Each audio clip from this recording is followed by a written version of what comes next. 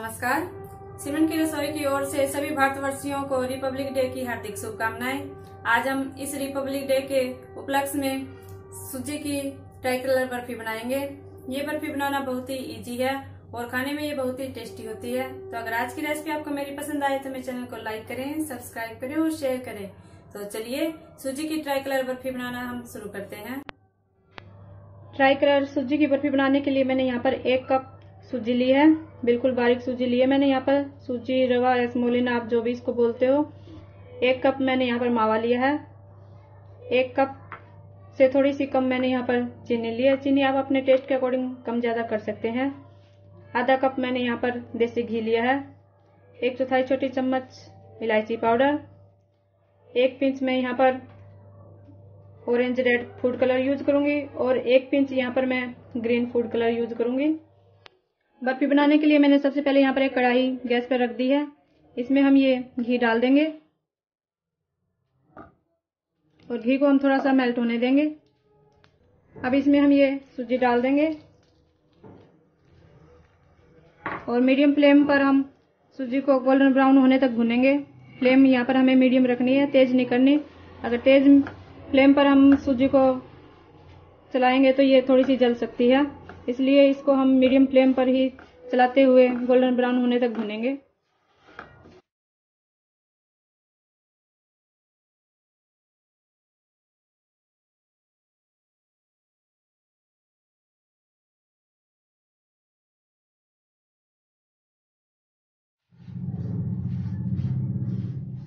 ये आप देख सकते हैं, हमारी सूजी अच्छी गोल्डन ब्राउन हो चुकी है, अच्छे से सीख चुकी है अच्छी खुशबू भी आ रही है। अब इसमें हम ये मावा डाल देंगे। गैस की फ्लेम हम यहाँ पर लो रखेंगे और मावे को हम सूजी में अच्छे से मिक्स कर लेंगे।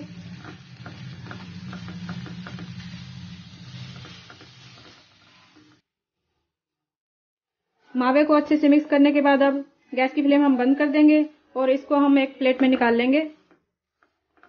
अब हम सेम कढ़ाई में चाशनी बनाकर तैयार करेंगे। इसमें हम थोड़ा सा पानी डाल देंगे। आधा कप के करीब पानी डालेंगे और ये चीनी डाल देंगे। और चीनी को चलाते हुए हम चाशनी बना लेंगे इसकी। ये हमारी चीनी अच्छे से घुल चुकी है। बस हम इसको थोड़ा सा और पका लेंगे। हमें चाशनी ज़्यादा गाढ़ी नहीं बनानी।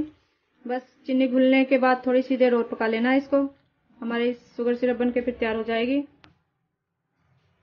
ये हमारी शुगर सिरप तैयार हो चुकी है। अब इसमें हम ये इलायची पाउडर डाल देंगे। मिक्स कर देंगे।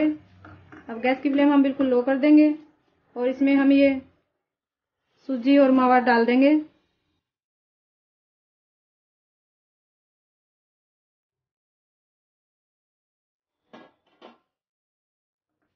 तो सारी चीज़ों को हम अच्छे से मिक्स कर लेंगे।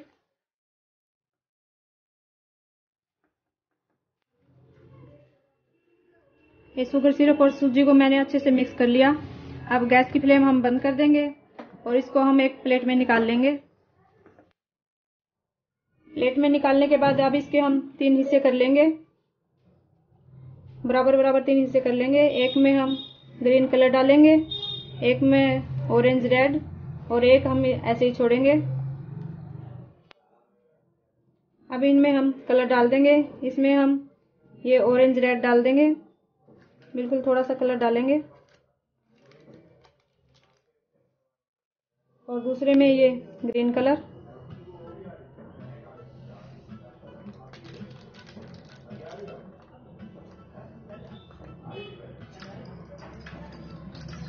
अब इनको हम मिक्स कर देंगे चम्मच से।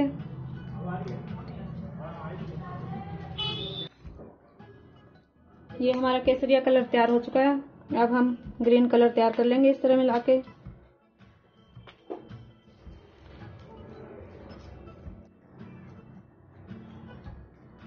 ये हमारा ग्रीन कलर भी तैयार हो चुका है। अब इनको हम सेट करने के लिए एक प्लेट में डाल देंगे। अब बर्फ़ी जमाने के लिए मैंने यहाँ पर एक प्लेट ली है। प्लेट को मैंने घी से ग्रीस कर लिया है। अब इसमें हम सबसे पहले ये ग्रीन वाला मिक्सर डालेंगे।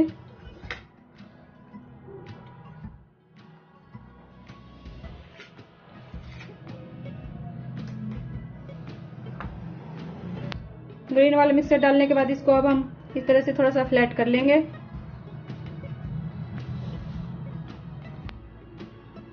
ग्रीन मिक्सर सेट करने के बाद अब इसमें हम व्हाइट वाला मिक्सर डालेंगे।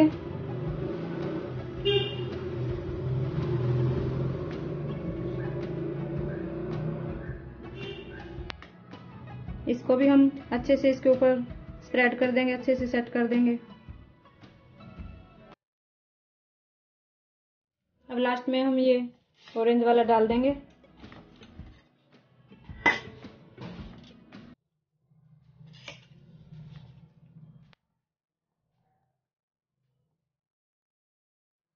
अब हम बर्फ़ी को सेट होने के लिए आधा घंटे के लिए किसी ठंडे जगह पर रख देंगे। आधे घंटे में हमारी बर्फ़ी अच्छे से सेट हो जाएगी और फिर इसके हम मन चाय पीसेज काट लेंगे।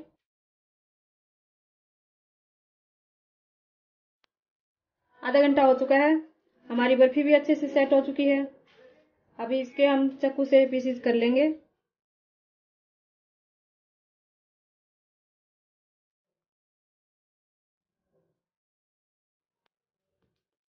अब इनको हम निकाल लेंगे।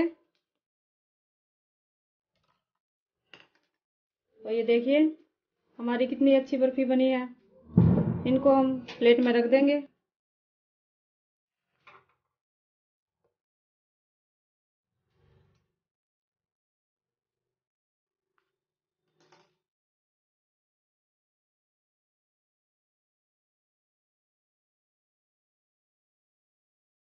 और ये लीजिए, हमारी सूजी की ट्राई कलर बर्फ़ी बनकर तैयार है।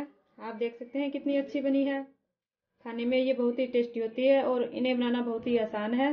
तो आप भी अपने घर पर इसे ज़रूर ट्राई करें। तो फ्रेंड्स, आज की ये ट्राई कलर की बर्फ़ी की रेसिपी आपको मेरी कैसी लगी? कमेंट्स बॉक्स पर ज़रूर लिखें। मैं उम्मीद करती हूँ कि आज की ये रेसिपी आपको मेरी पसंद आई होगी। अगर आज की रेसिपी आपको मेरी पसंद आई हो तो मेरी वीडियो को लाइक और ज़्यादा से ज़्यादा शेयर करें। और मेरे चैनल को सब्सक्राइब भी ज़रूर करें। फिर मिलते हैं हम एक नई रेसिपी के साथ। आज की रेसिपी देखने के लिए आपका बहुत बहुत धन्यवाद।